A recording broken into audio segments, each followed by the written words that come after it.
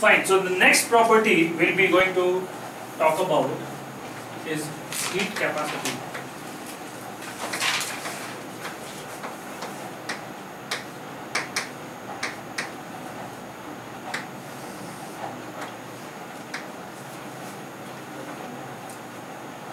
Heat capacity, as the name suggests, it tries to quantify how much heat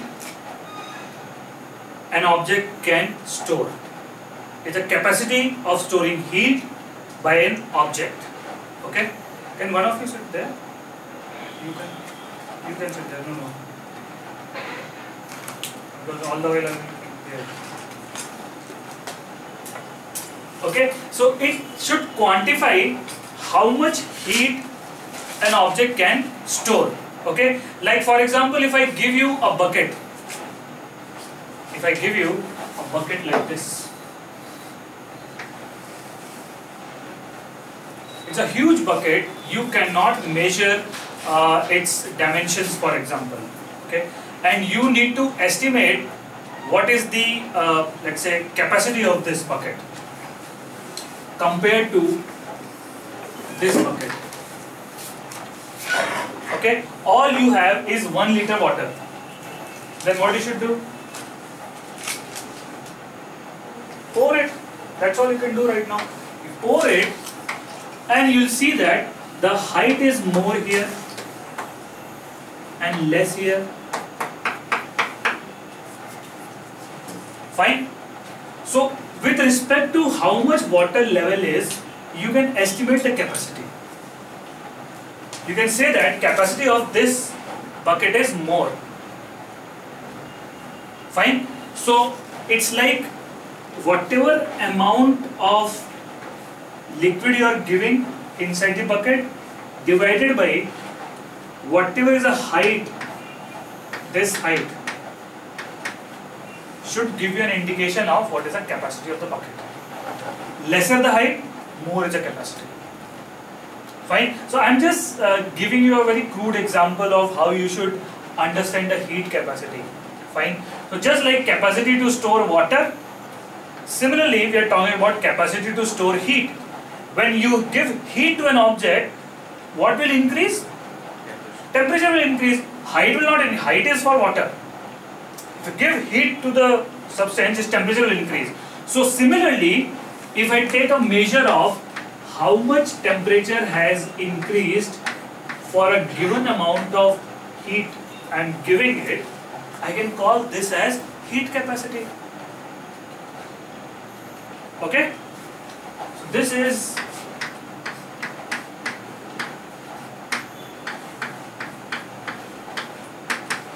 heat capacity which can be denoted by a letter C.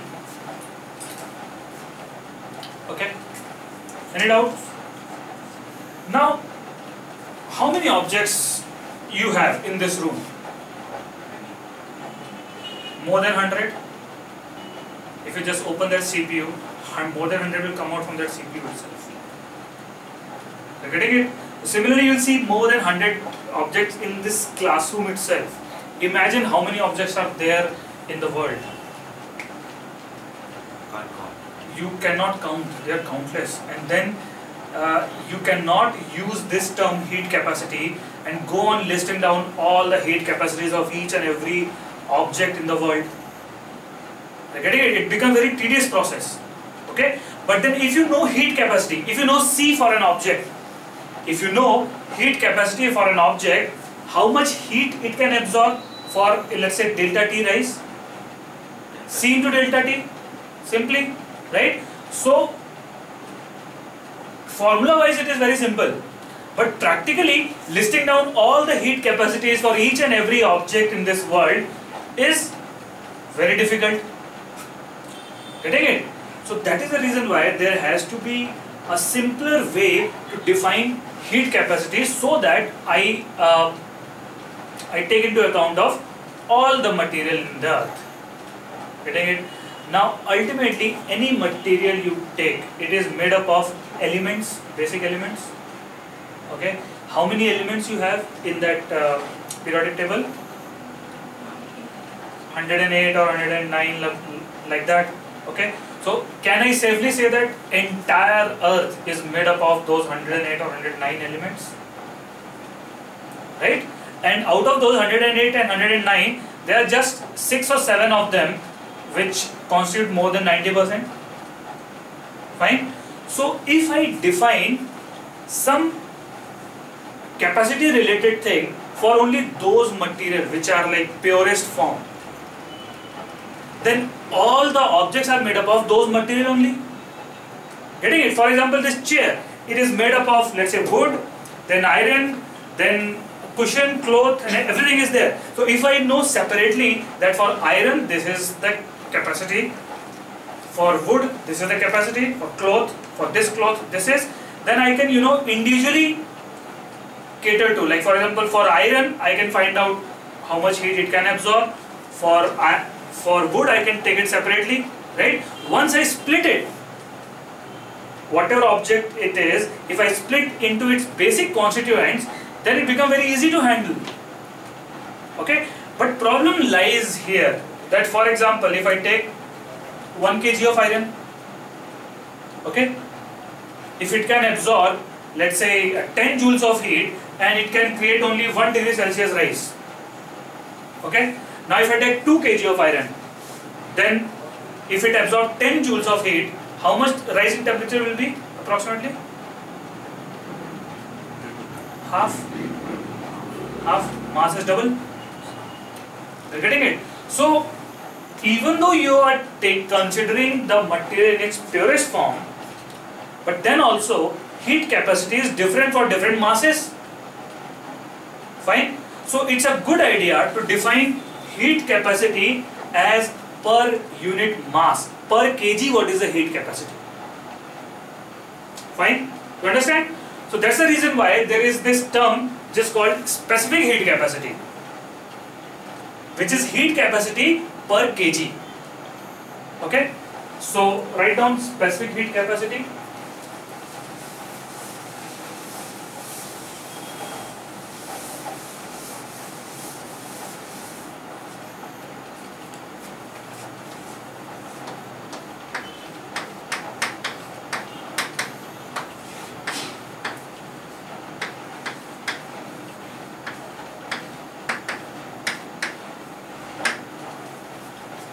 specific capacity is amount of heat absorbed by 1 kg of substance. Okay? It's the amount of heat absorbed by 1 kg of sub 1 kg of substance to increase the temperature by 1 degree celsius. Okay? So s should be equal to what delta Q divided by m into delta T. Find out? No? Delta Q will be equal to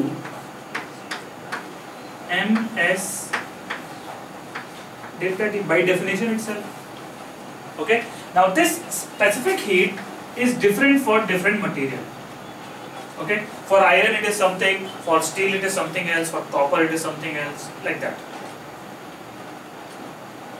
Getting it?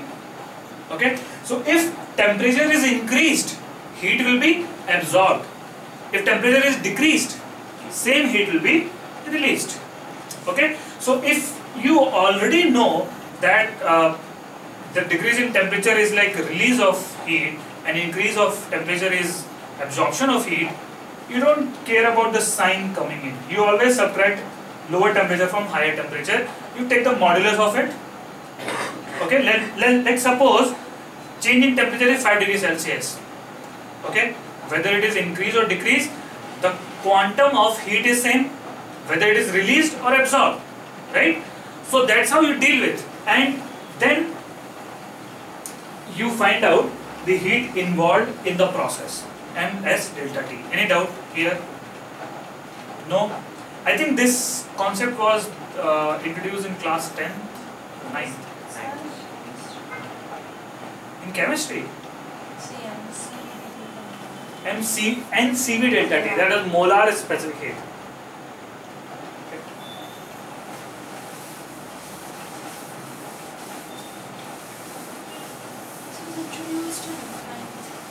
Yeah, yeah, nine. This uh, specific heat capacity is a very good, uh, uh, you know, physical parameter for liquids and for solids. For gases, the situation becomes little tricky. Okay? The problem is this. Uh, let me give you an example. Suppose you are uh, cooking a food inside a pressure cooker and suppose you are cooking food in an open utensil where the food will be cooked faster. Pressure cooker. Why? Because temperature increases faster inside the pressure cooker. Okay? Same gas is there. Same gas. Atmospheric gas only is there. But it is able to increase its temperature more if it is inside the pressure cooker. With the same amount of heat. What is so special in the pressure cooker? Closes the gases. The volume is constant. Okay? When it is open utensil what is constant? Pressure is constant. Okay? So for gases we need to also take into account that whether it is a constant volume or constant pressure process. Okay? So constant volume specific heat is different. Constant pressure it is different okay? You learn more about it in thermodynamics. What happens is that the some amount of heat which gas absorbs goes into expansion when you are allowing it to expand. Okay? But when you are enclosing it it can't do any work. Whatever heat you give entire heat gets converted into rise in temperature of that gas. Fine so that is the reason why same amount of heat when you good uh, when you give in constant volume the rise in temperature is more. So now tell me where the specific heat capacity will be more in constant volume or in constant pressure.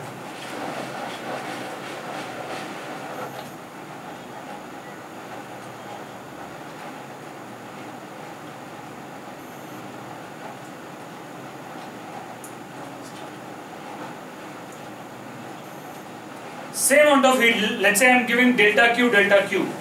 At constant volume, delta T will be more. At constant pressure, delta T is less. So delta Q by delta T is more in constant pressure. So at constant pressure, specific heat of gas is more. Okay, and when we talk about gases, generally we uh, like to deal in moles. Okay, so that that is why uh, the heat capacity is not defined per kg of a gas, but per mole of a gas. Okay, and we call it molar specific heat capacity. If you call it specific heat capacity, it is still per kg only. You have to specify it is molar specific heat capacity. Okay, so what should be the formula? At constant volume, molar specific heat is written as CV, which is equal to delta Q divided by what? N into delta T. N is number of moles. Okay. This is CV. Heat is supplied at constant volume. Okay. Cp is delta QT divided by N into delta T. So can you explain that part again about uh, which will have more Okay. So if I give, let's say, one joule here, delta Q is one joule. Here also one joule. Which delta T will be more? This or that? Constant volumes delta T will be more. This is pressure cooker like scenario, right? Delta T is more, temperature rises faster. So denominator is more than this denominator. That is why this is lesser than that. Cp is more than Cv.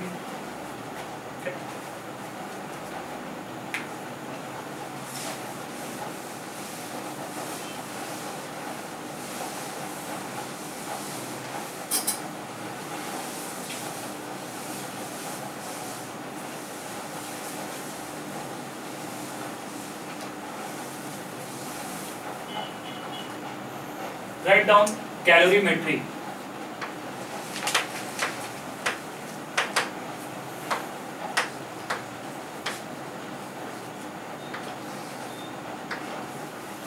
Calorie is what?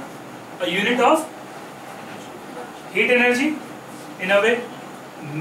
Metry is measurement. It's like measuring something. Okay. So measurement of heat is calorimetry is a process of measuring the heat.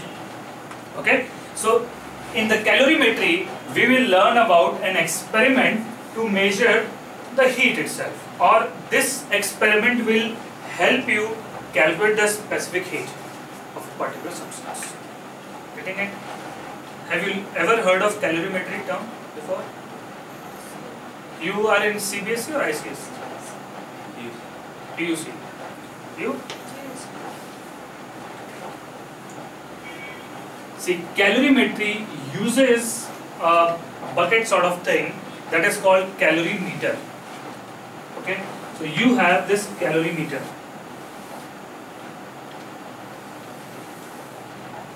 Now this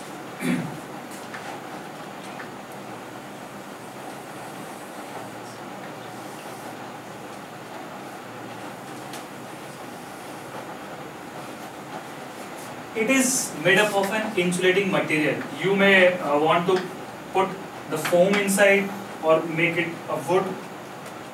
Okay, you're doing it so that there is no exchange of heat from the surrounding. Whatever happens inside remains inside. Okay, then you have to put a lid also at the top.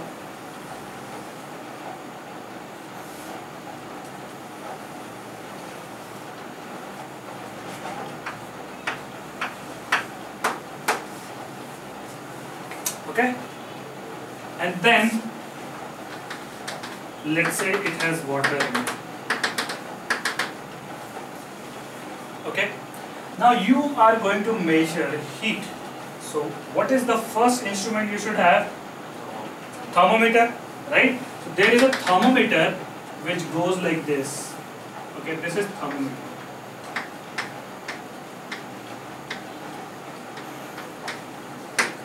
okay want to open the lid and then drop a very hot iron ball inside. So that heat is getting exchanged between iron ball and water and based on that you draw some inferences okay? But when you do it when it goes down maybe water this side is hotter that side water is colder temperature is not uniform then what you should need stirrer okay? So you have a stirrer also. It will just mix everything. Fine? So this is the calorimeter inside which you have exchange of heat which is happening. And the best part is there is no exchange of heat from the surrounding. That is assumption actually. There will be some exchange of heat anyways okay but then what will happen? Inside the calorimeter there will be some hot objects. Write down. There will be hot objects. Be- before mixing I am talking about like for example this is a hot ob- hot iron ball okay? There will be hot objects and then there will be cold objects. Of course hot and cold they are relative term so i'm saying the temperature difference is there. Okay? So now when they are coming in contact and you have a stirrer also what will happen? Exchange of heat hot objects what they will do? They will lose heat. They will lose heat energy. And what the cold objects will do they will gain heat energy. Now is the magnitude of loss in heat energy is equal to the magnitude of gain in heat energy? Yes or no? It will be right? This is how you this is nothing but conservation of energy only. This is how you use calorimeter to measure the heat. You're just equating the amount of heat that is lost by the hot object with the amount of heat that is absorbed by the colder object. Now when you leave it like this when the hot object comes in contact with the colder object and you with a stirrer you do all that and leave it for very long time what will happen? Temperature becomes constant both for hot as well as cold. Both will come at the same temperature. Initially they may be having different temperature but finally they will come at the same temperature. Okay? It may happen that in a numerical it is given like for example x amount of heat is given out to the atmosphere. Then I think you are intelligent enough to equate right? You can say that uh, whatever heat hot object is releasing that is equal to gain in heat energy by the colder object plus loss to the atmosphere right? But majority of the time there will not be any loss to the atmosphere okay? So all we have to do in a numerical related to calorimeter is equate loss in heat energy with gain in heat energy. Who will lose the heat energy? Hot object. And who will gain the heat energy? Colder objects. Very simple. Okay? Shall we do a numerical? Remember delta q is what ms delta t Fine. Till now, our assumption is we are not changing state. It will never happen that right now I can, you know, I can put an ice also. Its state will change, it will become liquid. Right? I'm not touching that scenario right now. I'm just talking about scenario where the states remains same. If initial state is liquid, it will remain liquid. If initial state is solid, it remains solid. Now tell me one thing, there will be hot objects, there will be colder objects. Calorimeter is this bucket, let's say, okay, which will have a copper coating inside. Will this calorimeter also absorb heat or release heat? Can it does? It can do. It can, right? So you need to take into account the calorimeter also. Fine. So initial temperature of calorimeter will be the temperature of all the objects inside the calorimeter in, initially. And the final temperature of calorimeter will be the final temperature of everything, which will be constant for all. Getting it? Okay? At times it will be given that calorimeter's water equivalent is 100 gram. What does it mean? It means that calorimeter will uh, absorb same amount of heat as if 100 gram of water would have absorbed. Fine? Understood? So all these finer nuances will be there in problem solving. May not be at your school level, but when you solve JEE level questions, there will be such nuances. Okay? Let's take up a numerical on this.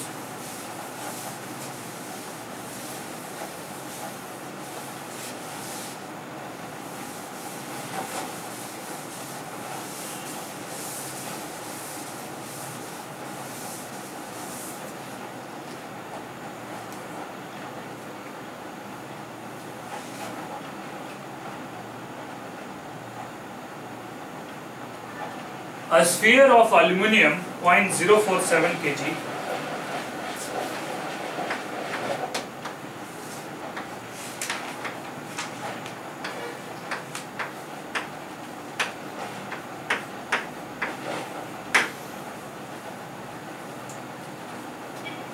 is placed for sufficient time in a boiling water so that the sphere's temperature becomes 100 degrees Celsius. So just write this much a sphere of point uh, aluminum sphere of 0.047 kg is at 100 degrees Celsius initially. Okay. It is immediately transferred to 0.14 kg copper calorimeter. So you have 0.14 kg of copper calorimeter inside which you are transferring this sphere okay? The calorimeter already has 0.25 kg of water. It already has 0.25 kg of water at 20 degrees Celsius. Fine? The temperature of the water rises and the final temperature becomes 23 degrees Celsius. Fine. You need to find out specific heat of aluminium, how much it is. Specific heat of aluminium is what? What is given is specific heat of copper, which is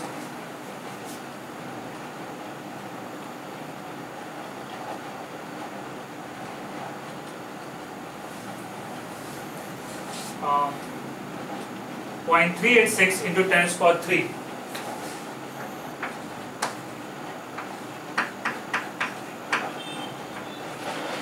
joules per kg per degree Celsius. Okay. What is specific heat of water? How much it is? You remember? 4.2. 4.18 or 4.2 whatever 4.18 into 10 is power 3 joule per kg degree celsius okay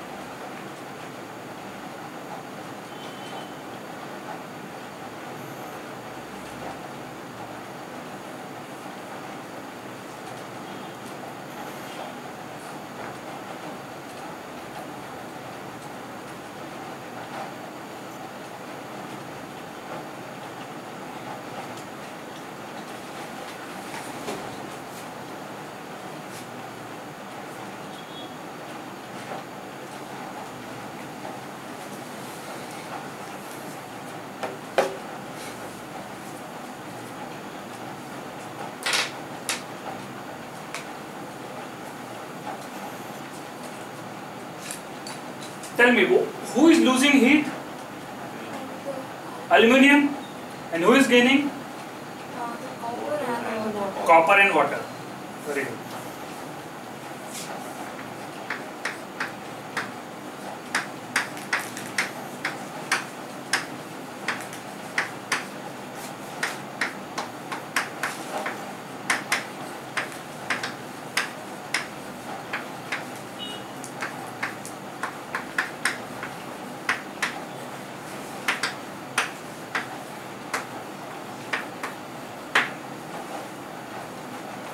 Substitute the values over there.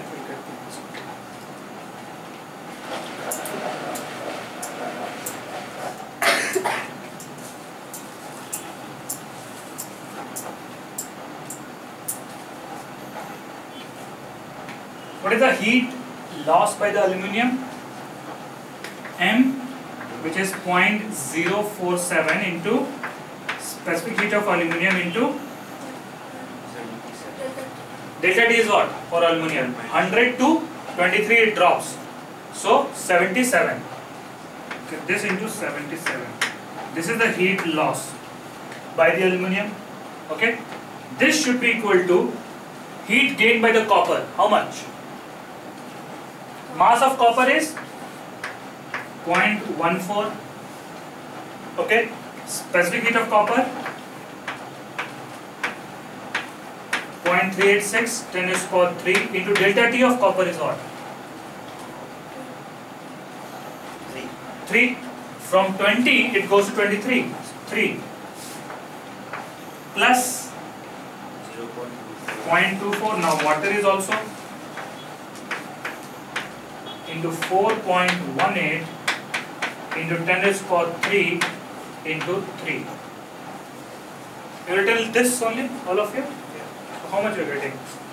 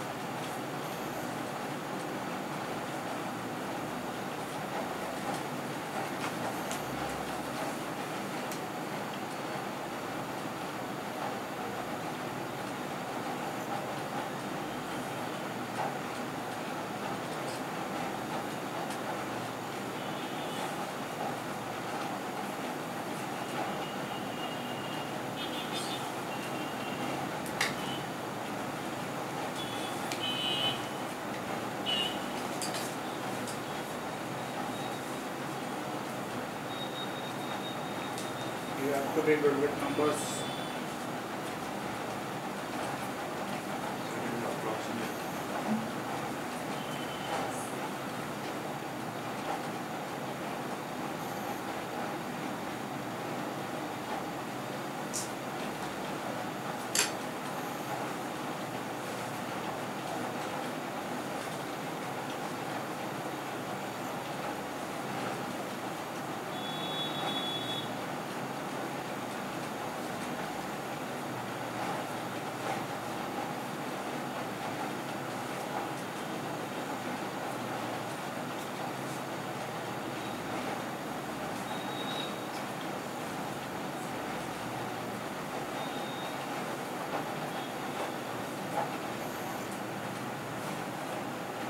anyone?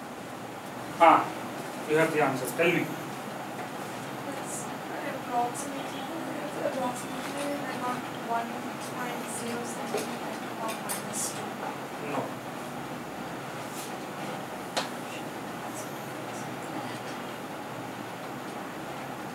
no approximately also it is beyond. Anyone else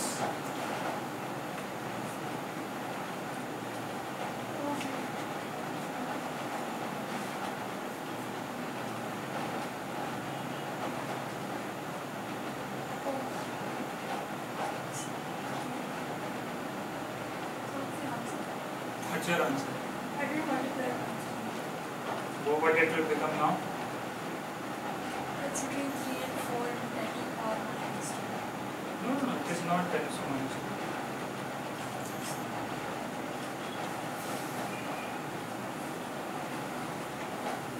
Approximately 800.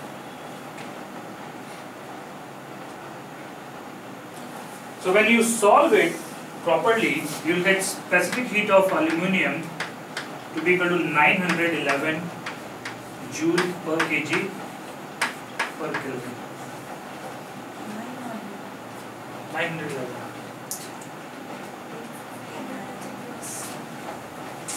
Calculation, calculation, there is uh, 790. But I approximate. But you should know which side you have approximated. whether you have approximated to get less than the actual answer or more than the actual answer. Are you getting it? What I'm trying to say? Approximation is fine, but you should know which side you are in.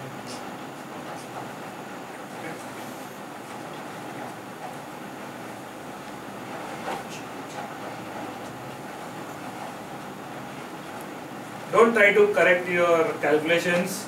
You have to do it again. You have to do it right the first time. If you make a mistake, it becomes very difficult to identify it.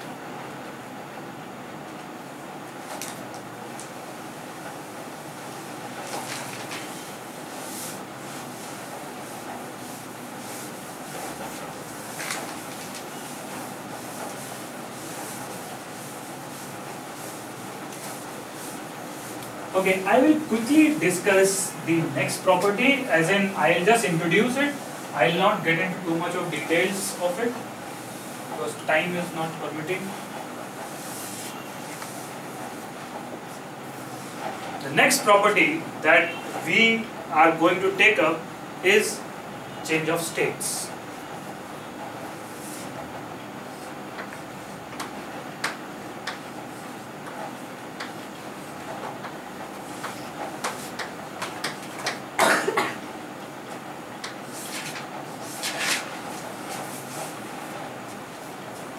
Fine. So you have suppose you have three states, right? Solid. Although there are uh, actually two or three more states, but we are not getting into all that. We are talking about the usual three states.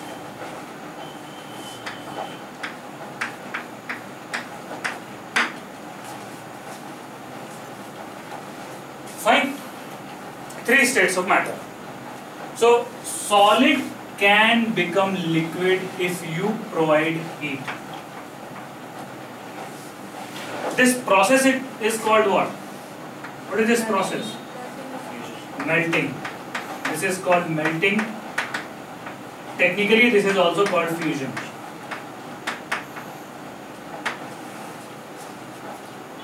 Okay.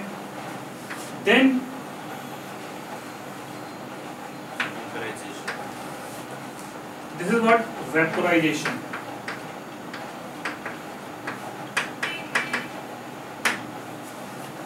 Okay. This heat is this is heat required to fuse the solid. Okay. This is the heat required to vaporize. So let's say this is delta QF, this is delta QV let's. Okay. Now when vapor becomes liquid, will it this is what absorption of heat.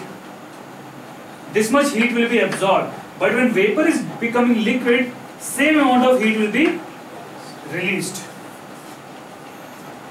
Getting it? And similarly, when liquid is becoming solid, delta QF will be released. Fine. And also there is process where solid directly becomes vapor, that is sublimation. Okay. But we are not getting into all that right now. Okay. So these are the process when vapor becomes liquid. This process is called what? condensation.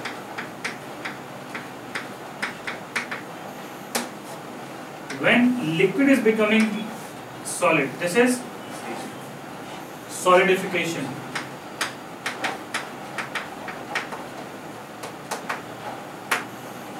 Fine. Now, one uh, one uh, unique thing about the transition is that when transition happens, temperature is constant. What is temperature? A measure of the kinetic energy of the molecules. Okay. So when you give the heat and the state change is happening, kinetic energy doesn't change. Then what is changing? Potential energy. Potential energy. And what is potential energy? Energy possessed because of the position. So the molecules are going further away from each other So their potential energy is increasing. So whatever heat you are giving it, it is increasing the potential energy. Kinetic energy is not increasing in the state change. Getting it? So it's a constant temperature process during the transition. Fine. And in case of water and in case the pressure is 1 atmosphere, this transition happens at 0 degrees Celsius and that transition happens at 100 degrees Celsius. Fine. So transition temperature depends on the pressure as well as what is the material. But temperature will remain constant at a particular pressure. Any doubts? No. So the heat that is required to melt this solid completely should depend on what? Should depend on how much is the solid, how much, how, how many kgs, right? And should depend on nature, that's it. Temperature is anyway not changing. Are you getting it? So when it is melting, when it is melting, delta Q is just mass into a constant which is latent heat of fusion, we it. Okay, same formula holds good when liquid is becoming solid, solidification also. But this time, when liquid becomes solid, it will release the same amount of heat. Getting it? Now, one unique thing here, this is what? What is this? Mass of what? Of the substance. This is not a total mass. This is a mass which has changed the state. Out of 5 kg ice, you just melted 1 kg. So this is 1 kg only. Fine? When you write delta Q is equal to ms delta T, you're taking entire mass. But when you're writing m into LF, you're taking only that mass which is changing the state. Remember that. Okay? This is melting or solidification, both. and this is a huge amount of energy. Latent of fusion is usually a very very big number. Okay, and uh, you see that. Um, okay, let me first introduce uh, vaporization also. For vaporization or condensation, the amount of heat is mass of the liquid that is vaporizing into latent heat of vaporization. Okay. Now, have you ever uh, uh, seen like how your mom used to uh, make sure that uh, milk is the hot milk uh, is cooled down very quickly? How it happens? What she does? You put it below the fan. Have you ever seen that? Right. So when you put it below the fan and fan is rotating, lot of vap lot, lot of vaporization happens. The vapor comes out from the milk. Now during the vaporizing, it needs that much heat. So from where it will take the heat? From the remaining milk. Whatever is vaporizing, it will take the heat from the remaining milk and go away and vaporize. So the remaining milk is getting cooled down faster and faster because vaporizing is happening. Same thing happens when we sweat and wind is uh, wind is blowing. Then our sweat is vaporizing. When sweat is vaporizing, the heat which is required for it to vaporize, it will take from our body. So we feel cold. That is the whole reason why humans sweat when there is a hot conditions. So that you feel cold because vaporization vaporization should happen from the skin. Okay. So next class we will take it more quantitatively and we'll solve a lot of numericals on it and try to finish this chapter. Okay. Any doubts? Nothing.